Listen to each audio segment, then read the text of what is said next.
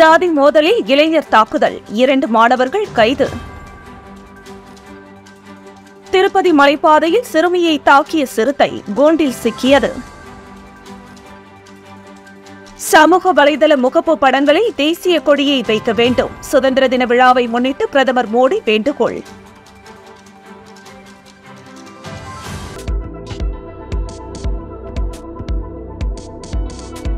விருத்தாச்சலம் அருகே ஜாதி மோதலில் ஈடுபட்ட இரண்டு மாணவர்கள் கைது செய்யப்பட்டுள்ளனர். கடலூர் மாவட்டம் விருத்தாச்சலம் வட்டம் எருமனூரில் ஆதிதிராவிடர் வசிக்கக்கூடிய காலனி பகுதியில் ஆதிக்க ஜாதியை சேர்ந்த நாச்சியார்பேட்டை எருமனூர் மற்றும் சின்னவடிவாடை ஆகிய மூன்று ஊர்களை சேர்ந்த கிட்டத்தட்ட இருபதற்கும் மேற்பட்ட இளைஞர்கள் ஆதிதிராவிடர் வசிக்கக்கூடிய காலனி பகுதியின் உள்ளே புகுந்து ராமச்சந்திரன் மகன் ரஞ்சித் குமார் என்கிற இளைஞரை கொலைவெறி தாக்குதல் நடத்தியுள்ளனர். இந்த ஜாதி வெறியர்களால் தாக்கப்பட்ட மாணவர் கடலூர் அரசு மருத்துவமனையில் அனுமதிக்கப்பட்டு உள்நோயாளியாக சிகிச்சை பெற்று வருகிறார். அதில் வாலிபர் ஒருவர் காவல்துறை முன்னிலையில் வாக்குமூலம் அளித்துள்ளார். இதையடுத்து காவல்துறையினர் வழக்கு பதிவு செய்து விசாரணை செய்து சம்பந்தப்பட்ட இரண்டு நபர்களை கைது செய்துள்ளனர். மாணவர்களிடையே ஜாதி மோதல் ஏற்பட்ட பிரச்சனையால் இப்பகுதியில் பரபரப்பு ஏற்பட்டுள்ளது.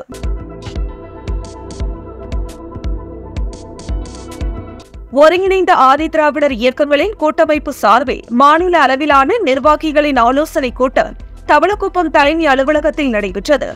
ஒருங்கிணைந்த ஆதிதிராவிடர் இயக்கங்களின் கூட்டமைப்பு சார்பில் மாநில அளவிலான நிர்வாகிகளின் ஆலோசனைக் கூட்டம் தவளக்குப்பம் தலைமை அலுவலகத்தில் மாநில தலைவர் அருள்தாஸ் தலைமையில் நடைபெற்றது.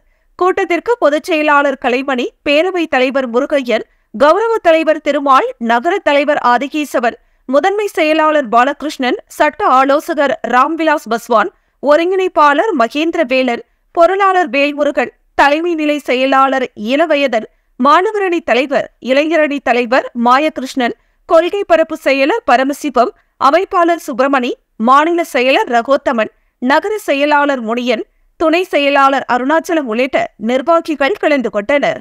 ஆதிதிராவிடர் நலத்துறையில் காலியாக உள்ள வார்டன் நல அதிகாரி நல ஆய்வாளர் பியூன் அட்டெண்டர் போன்ற பதவிகள் பல ஆண்டுகளாக காலியாக உள்ளது. இதுநாள் வரை பதவிகள் நிரப்பப்படாமல் உள்ளது. இதனால் மக்கள் பணிகள் முற்றிலும் பாதிக்கப்பட்டுள்ளது. ஒரு நல ஆய்வாளர் இரண்டு மூன்று தொகுதிகளை பார்க்க வேண்டிய நிலை உள்ளது. ஒரு நல அதிகாரி இரண்டு விடுதிகளை பார்த்துக் கொள்கிறார். இப்படி இருந்தால் எப்படி மக்கள் பணி வளர்ச்சி அடையும்? எனவே முதலமைச்சர் துறை அமைச்சர் செயலர் மற்றும் இயக்குனர் ஆகியோர் விரைந்து காலியாக உள்ள பணியிடங்களை நிரப்ப துரித நடவடிக்கை எடுக்க வேண்டும். சென்டக்கில் சேரும் மாணவ மாணவிகளுக்கு அவர்களுக்கு சேர வேண்டிய கல்வித் தொகையை கல்லூரியில் சேரும் போதே அரசு செலுத்த வேண்டும்.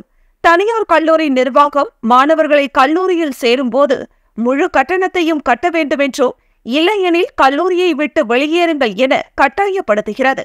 எனவே முதலமைச்சர் அவர்கள் இதில் அதிக கவனம் செலுத்தி தனியார் கல்லூரி நிர்வாகத்திற்கு ஒரு சுற்றறிக்கையை அனுப்ப வேண்டும் என கேட்டுக்கொள்ளப்பட்டது பல அரசு பள்ளிகள் ஆசிரியர்கள் பற்றாக்குறையாக உள்ளது. இதனால் ஒவ்வொரு ஆண்டும் தேர்ச்சி விகிதம் மிகவும் குறைந்து கொண்டே செல்கிறது. இதற்கு முழு காரணமே கல்வித்துறையில் பணிபுரியும் ஆசிரியர்களே என்பது குறிப்பிடத்தக்கது.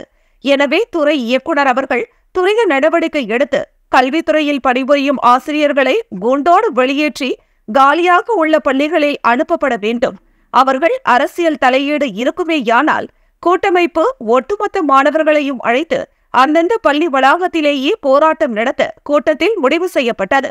மேலும் ஆதிதிராவிடர் நலத்துறையின் கீழ் சிறப்பு கோர நிதியிலிருந்து இருபத்தி இரண்டு துறைகளுக்கு நிதி ஒதுக்கீடு செய்யப்பட்ட நிலையில் எந்தெந்த ஆதிதிராவிட மக்களுக்கு செலவு செய்யப்படுகிறது அந்த நிதியை ஆதிதிராவிடர் மக்கள் பயன்பாட்டிற்கு செலவு செய்யப்படுகிறதா என்பதை வெள்ளை அறிக்கை வெளியிட வேண்டும். இல்லையெனில் இருபத்தி இரண்டு துறை அதிகாரிகள் மீது வன்கொடுமை தடுப்பு சட்டத்தின் கீழ் வழக்கு பதிவு செய்யப்படும் என்பதை கூட்டத்தில் எச்சரிக்கையாக விடுத்தனர். கூட்ட முடிவில் துணை ஒருங்கிணைப்பாளர் ரஜினிகுமார் நன்றி கூறினார். பாஜக அரசு எத்தனை முறை பதவி நீக்கம் செய்தாலும் வயநாட்டுக்கும் எனக்கும் இடையேயான உறவை யாராலும் பிரிக்க முடியாது என்று ராகுல் காந்தி பேசியுள்ளார். அகில இந்திய காங்கிரஸ் கட்சியின் முன்னாள் தலைவர் பாராளுமன்ற உறுப்பினர் ராகுல் காந்தி நீலகிரி மாவட்டம் ஓட்டிக்கு நேற்று முன்தினம் வந்தார். அங்கு முன்னாள் விண்வெளி வீரர் ராகேஷ் சர்மா தோடர் இன மக்களை சந்தித்து பேசினார். பின்னர் அவர் கூடலூர் வழியாக கார் மூலம் கேரள மாநிலம் வயநாட்டிற்கு சென்றார். கல்பிட்டாவில் காங்கிரஸ் கட்சியினர் உற்சாக வரவேற்பு அளித்தனர். அங்கு கூடியிருந்த பொதுமக்களை பார்த்து ராகுல் காந்தி கையசைத்தார். இதையடுத்து கல்பட்டாவில் பொதுக்கூட்டம் நடைபெற்றது. கேரள மாநில காங்கிரஸ் தலைவர் சுதாகரன் தலைமை தாங்கினார். பொதுக்கூட்டத்தில் ராகுல் காந்தி பேசுகையில் நான்கு மாதங்களுக்கு பிறகு தான் மீண்டும் வயநாடு நாடாளுமன்ற தொகுதி பொதுமக்கள் முன்பு பேசிக் கொண்டிருக்கிறேன் என்றார். தான் இக்கட்டில் சிக்கி தவித்த போது வயநாடு தன்னை பாதுகாத்து ஆதரவளித்தது என்றும் பாஜக அரசு தன்னை எத்தனை முறை பதவி நீக்கம் செய்தாலும் தனக்கும் வயநாட்டுக்கும் இடையே உள்ள உறவை யாராலும் பிரிக்க முடியாது என்றும் ராகுல் காந்தி பேசினார்.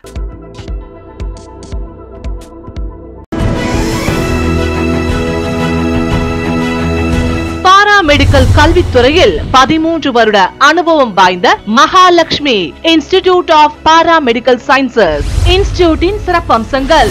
அனுபவம் வாய்ந்த ஆசிரியர்கள் பெஸ்ட் பிராக்டிகல் கிளாசஸ் மருத்துவமனைகள் மற்றும் ரத்த பரிசோதனை கூடங்களில் நேரடி பயிற்சிகள். பள்ளி கல்வியை பாதியில் விட்டவர்கள் மற்றும் தமிழ் வழி கல்வி பயின்றோரிடம் தனி கவனம் புதுவையிலேயே மிக குறைந்த கட்டணம். அதனை தவணை முறையில் செலுத்தும் வசதி. உள்நாடு மற்றும் வெளிநாடுகளில் நூறு சதவிகிதம் வேலை வாய்ப்பிற்கு உத்தரவாதம்.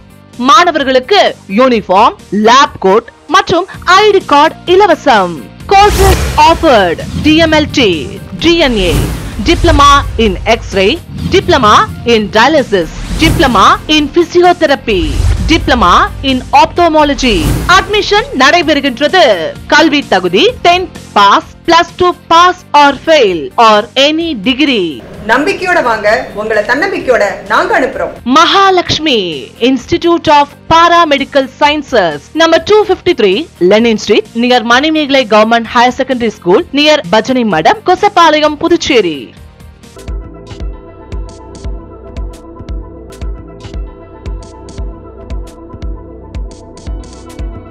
திருப்பதி மலைப்பாதையில் சிறுமியை தாக்கிய சிறுத்தை கூண்டில் சிக்கியது. திருப்பதி ஏழுமலையான் கோவிலுக்கு செல்லும் பக்தர்கள் அலைப்பிரி மற்றும் ஸ்ரீவாரி மெட்டு மலைப்பாதையில் நடந்து சென்று சுவாமி தரிசனம் செய்து வருகின்றனர்.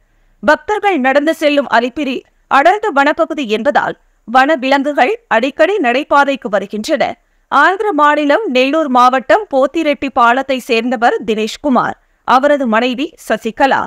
ஆறு வயது மகள் லக்ஷிதா. நேற்று முன்தினம் திருப்பதி வந்தனர்.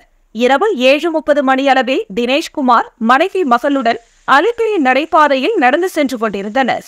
பெற்றோர் கைகளை பிடித்து வந்த சிறுமி அவர்களை விட்டு வேகமாக படியேறி சென்றார். நரசிம்மசாமி கோவில் அருகே நடந்து சென்ற போது லக்ஷிதா திடீரென காணாமல் போனார். சிறுமி காணாமல் போனதால் அவரது பெற்றோர் அதிர்ச்சியடைந்தனர். நடைபாதையில் பக்தர்கள் கூட்டத்தை மகளை தேடி பார்த்தனர். நீண்ட நேரம் ஆகியும் மகளை காணாததால் பதற்றமடைந்த சிறுமியின் பெற்றோர். இதுகுறித்து காவல்துறையினருக்கு தகவல் தெரிவித்தனர். காவல்துறையினர் மற்றும் தேவஸ்தான விஜிலன்ஸ் காவல்துறையினர் இரவு முழுவதும் வனப்பகுதியில் லக்ஷிதாவை தேடி வந்தனர். மலைப்பாதையில் பொருத்தப்பட்டுள்ள கண்காணிப்பு கேமரா காட்சிகளை ஆய்வு செய்தனர். அப்போது சிறுமி தனது பெற்றோருக்கு முன்பாக தனியாக நடந்து செல்லும் காட்சிகள் பதிவாகி இருந்தன. மேலும் கூடுதல் காவல்துறையினர் வரவழைக்கப்பட்டு தேடினர். அப்போது சிறுமி லக்ஷிதா நரசிம்மசுவாமி கோவில் அருகே இரத்த காயங்களுடன் பிணமாக கிடந்தார். சிறுமியின் உடல் அருகே சிறுத்தையின் எச்சம் கிடந்தது. இதனால் சிறுமியை சிறுத்தை இழுத்து சென்று அடித்துக் கொண்டுள்ளது தெரிய வந்தது. இதையடுத்து சிறுத்தையை கூண்டு வைத்து பிடிக்கும் பணியில் வனத்துறையினர் தீவிரம் காட்டினர். சிறுத்தையை பிடிப்பதற்காக திருப்பதி மலைப்பாதை அருகே வனத்துறையினர் மூன்று கூண்டுகளை அமைத்திருந்தனர்.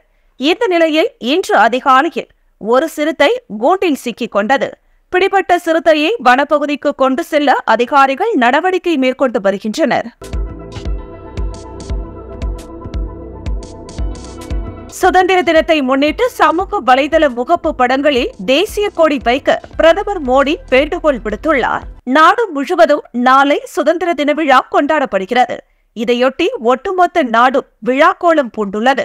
முன்னதாக கடந்த மாத இறுதியில் ஒளிபரப்பான மனதின் குரல் நிகழ்ச்சியில் பேசிய பிரதமர் மோடி வீடுகள் தோறும் தேசிய கொடி என்கிற இயக்கத்தின் கீழ் பதிமூன்றாம் தேதி முதல் பதினைந்தாம் தேதி வரை மக்கள் தங்கள் வீடுகளில் தேசிய கொடி ஏற்ற வேண்டுமென அழைப்பு விடுத்தார். அத்துடன் என் மண் என் தேசம் என்ற இயக்கத்தின் கீழ் அவரவர் பகுதியில் தேசத்தின் புனித மண்ணை கையில் ஏந்தி செல்ஃபி படம் எடுத்து இணையத்தில் பதிவேற்றம் செய்யவும் கேட்டுக்கொண்டார் இந்த நிலையில் சுதந்திர தினத்தை முன்னிட்டு பிரதமர் மோடி தனது சமூக வலைதள கணக்குகளின் முகப்பு படங்களை தேசிய கொடியாக மாற்றியுள்ளார். மேலும் வீடுகள் தோறும் தேசிய கொடி இயக்கத்தின் ஒரு பகுதியாக மக்களும் தங்களது சமூக வலைதள கணக்குகளின் முகப்பு படங்களை தேசிய கொடியாக மாற்ற வலியுறுத்தியுள்ளார். இது தொடர்பாக அவர் ட்விட்டரில் வெளியிட்டுள்ள பதிவில் வீடுகள் தோறும் தேசிய கொடி இயக்கத்தின் உணர்வோடு நமது சமூக வலைதள கணக்குகளின் முகப்பு படத்தை தேசிய கொடியாக மாற்றி நமது அன்பிற்குரிய நாட்டிற்கும் நமக்கும் இடையிலான பிணைப்பை ஆழப்படுத்தும் இந்த தனித்துவமான முயற்சிக்கு ஆதரவளிப்போம் என குறிப்பிட்டுள்ளார். ஜாதி மோதலில் இளைஞர் தாக்குதல் இரண்டு மாணவர்கள் கைது. திருப்பதி மலைப்பாதையில் சிறுமியை தாக்கிய சிறுத்தை கோண்டில் சிக்கியது. சமூக வலைதள முகப்பு படங்களில் தேசிய கொடியை வைக்க வேண்டும். சுதந்திர தின விழாவை முன்னிட்டு பிரதமர் மோடி வேண்டுகோள்.